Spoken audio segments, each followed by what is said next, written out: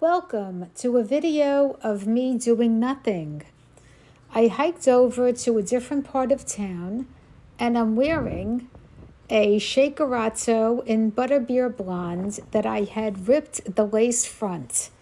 And as a result, I ended up doing bangs and creating a whole different style. I also trimmed her. So I decided to get some use out of it. And then I discovered there's another ferry next to the big ferry that takes you to Midtown Manhattan, which is big discovery for me in my travels.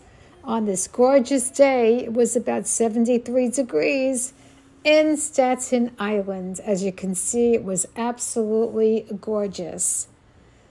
There happened to be a baseball game also commencing at um, the Staten Island Stadium. Just a slice of life.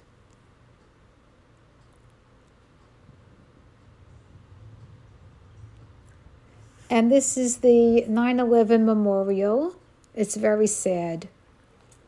They took the profiles from actual photos of the deceased some first responders, of course.